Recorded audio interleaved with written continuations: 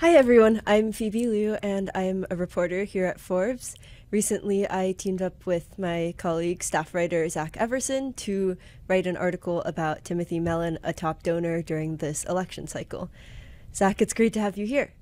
So, yeah, to get things started, can you say a little bit more about who Tim Mellon is and why he's so important during this current election cycle? Yeah, gladly. So, you know, most of the people who are big political donors are names people have heard of. They've they've made their name in industry. On the Democratic side, you have like Reid Hoffman, on Michael Bloomberg these days. On the Republican side, you've got um, Linda McMahon. Uh, you've got Sheldon Adelson. But all of a sudden, in the last campaign, this guy Timothy Mellon popped up, and it was like, who the heck is he?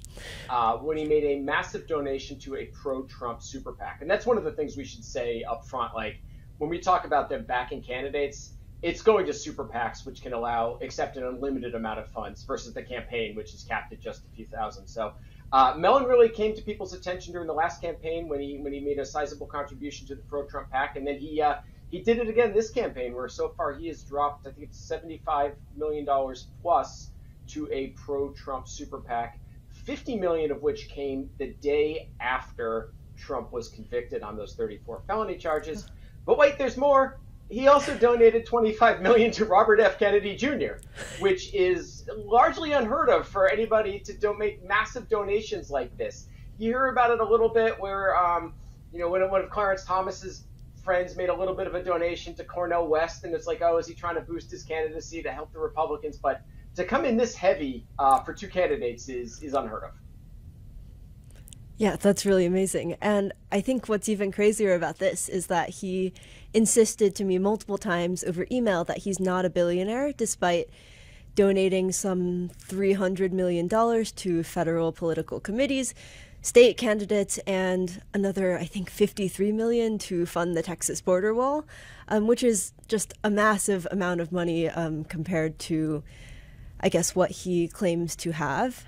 And I guess to say a little bit more about where he's getting all of this money, obviously his last name is Mellon, so he is a fourth, I believe, generation descendant of the Mellon Bank people. So his grandfather was Andrew Mellon, who served as Treasury Secretary under three Republican presidents and um, was a major steward to really grow the Mellon banking fortune in Pittsburgh into one of the largest institutions in the country. Um, he notably invested in Gulf Oil, which is the predecessor to Chevron now, um, and left, I think, $23 million in private company stock, basically at book value, so probably worth a lot more than that.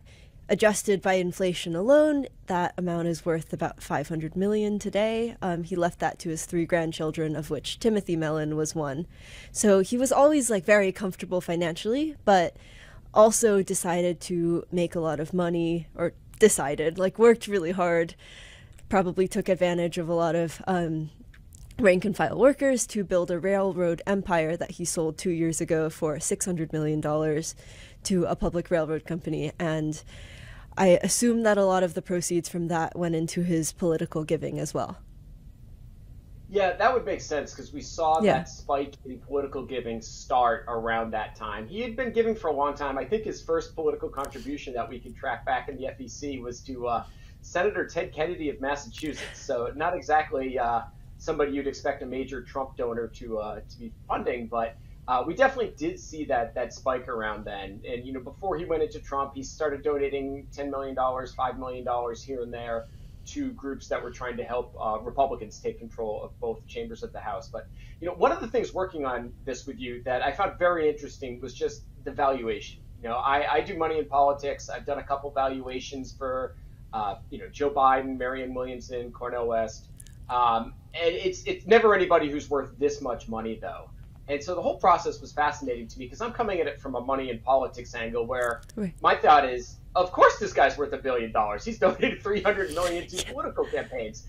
But can you talk uh, like a little bit more about the process, how you guys went through this, trying to come up with a valuation, and what his response to that, like what that had you rethinking? Yeah, for sure. So I don't know. I do a lot of valuations of billionaires, the richest people in the world, like the Zuckerbergs and Ellisons and Bezoses. Um, and still, even considering that, I looked at how much money he's given to political causes and was like, there's no way he's not a billionaire. Um, but what's really interesting is that the Mellon family has kept their fortune so private for so many, I guess, for two or three centuries and have never really put any of that money into public companies or anything that has to be disclosed in a way that us nosy journalists who want to know what they're worth um, can actually find out. And over the years, various Forbes reporters trying to estimate the value of the Mellon family fortune have called Mellon family members, and none of them seem to know what their family is worth either. So it's very difficult to actually figure out. Um, I drew from this fantastic book by David Cannadine about Andrew Mellon, which was produced in cooperation with the Mellon family. They gave him full access to all of his tax, tax documents, estate papers, um, all of that. And from that book, I learned that he had put the $23 million gift into a bunch of trusts for his grandchildren. Um, and basically, from that initial inheritance, so they I guess to give a little bit of context, um, the Mellon family was known to pass down money in like generation skipping trusts um, for tax reasons. So we were guessing that most of Timothy Mellon's money came from his grandfather Andrew, because um, his father Paul was mostly racing horses. He won the Kentucky Derby. Donated hundreds and hundreds of millions of dollars to like art museums and various other philanthropic causes. Um, so he wasn't really making a lot of money for himself. So Timothy Mellon's money came from Andrew, and this was $23 million in like mid 1930s US dollars. And if we kind of think about how that could have been invested over the years within these trusts, um, a benchmark that we like to use is the S&P 500. Um, if you assume that this investment performed to 75% of the S&P 500, so not as good as the stock market, but kind of close, um, it would be worth 3.6 billion today. And if you assume that that was divided evenly between his three grandchildren, of which Timothy was one, um, they would each have around 1.2 billion dollars. But when I ran this by Tim Mellon, he responded back basically billionaire not never have been never will be and didn't answer any of my other questions about like how he stewarded his railroad and grew his fortune further from that um, with the 600 million sale where we also assume that he was a majority owner in the railroad because he co-founded it and there were documents we found from I don't know, the 1980s that showed that he and his co founder were the only shareholders in the company and they never took outside investment. Um, it was financed in part by a loan from his family's bank, and we assume in part by his inheritance. So, based on all of those things, and then subtracting out the, I think, 296 million in total, uh, sorry, not philanthropic, like political donations, um, we're estimating that even though he insists he's not a billionaire, um, there's kind of no way he isn't close unless his investment from his inheritance performed super poorly, which is also possible. Yeah, that is that is just fascinating. I mean, looking at the swings when you guys were looking at that valuation, yeah. is it common for a billionaire to push back? You know, when we think somebody's a billionaire, for mm-hmm. them to push back on that, and if so, are they usually as succinct as Timothy Mellon was in pushing back on that? Yeah, I think it depends on the billionaire. Um, I work with a lot of tech people. They usually just like to say nothing at all um, and let us come to our own conclusions and our own estimates.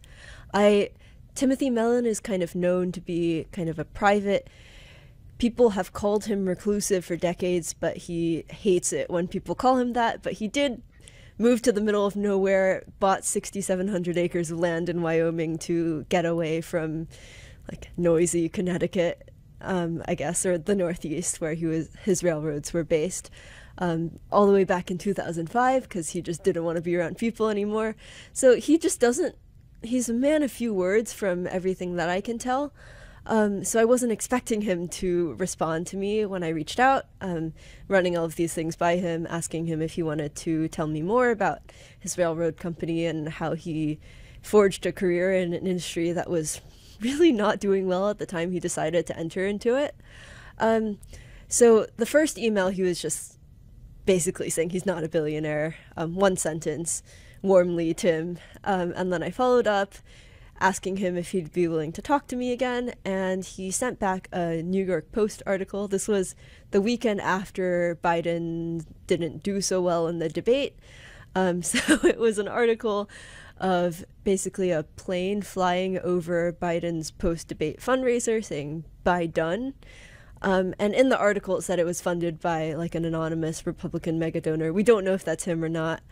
Um, and then I followed up a third time asking again about the net worth, saying, like, here's what we're going to print and the reasoning why. We're going to include the fact that you said that you're not a billionaire. Um, what do you think? And he sent back I think two minutes later from his BlackBerry 10, just no period, no period. And that was the last thing I heard from him. Would have loved to hear more about his story because it seems like he has such a fascinating narrative, like licensed pilot, thousands of acres of land in Wyoming, built a 4,000 mile railroad empire um, over four decades, like from a really famous uh, banking family, I guess. And I don't know. Would have loved to hear more from him, but that was all we got, unfortunately. Yeah, we had we had to settle for the memoir, um, which he yes. published in 2015. Say more about that. Yeah. You, yeah, you you did a phenomenal job tracking it down. It's been out of print. Um, shortly after one of his donations was public in the last campaign, uh, it was reported, I think, by the Washington Post that he had a chapter in there called "Slavery Reduced," which he which he basically compared a lot of social programs to slavery and the book was pulled from the market shortly thereafter. And uh, you did a great job of tracking that down. That certainly had some insights, um, especially about his shifting politics. So he mentioned that early on, he uh, in the I guess it was 60s or 70s started a foundation called the Sachem Fund, and it backed groups that were supported by people like Ralph Nader and Gloria Steinem. Uh, not exactly uh, MAGA type people, um, but it sounded like by the end of that, he was a little bit disheartened with the results uh, blamed it on not having maybe misunder maybe underestimating uh, human nature in that regard. So that was some pretty interesting stuff. The book itself had, uh, I mean, there was an appendix there on some of his favorite meals. Uh, there was one on his illnesses. Um, it was it was it was interesting. Um, I thought there was a lot of it that was spent on. I would have liked to have heard, learned a lot more about that foundation versus the new home he was building. But you know, hey, he's the author; it's self-published. He can he can get away with that. Uh, and there is a second edition of that coming out in just a couple weeks.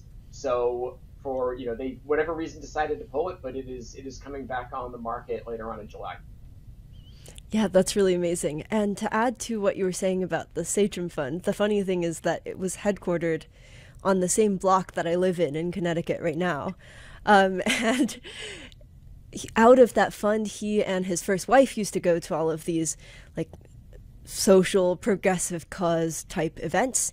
And he actually met the partner that he ended up running this railroad with um, for four decades at a League of Women Voters event. And uh, he claims in the memoir that in addition to kind of being disillusioned with him throwing money at all these causes and them, I guess, not being solved immediately, um, to put it bluntly, I guess, um, he said that working in the railroad industry and dealing with like the bureaucracy and the government regulations and trying to make this railroad um, that could have gone bankrupt and easily would have if he didn't um, like lay off half the workforce, for example, or fly around the country looking for non union employees when they went on strike in 1987, um, like personally with his private jet, um, picking up employees one by one to fly to wherever he needed them. If he didn't take all of these extreme measures, um, those companies would have gone bankrupt, so he got really frustrated with big government. And he says that that was a major force in shifting his politics um, to something that was more in line with like his family's Republican roots, um, which was super interesting. Also, transitioning yeah, to something. yeah, go ahead. Uh, when I uh, those were fascinating details mm-hmm. when I was reading your part of the copy. You know, when I was going through that, and I'm like, wait, they met at a yeah. women voters.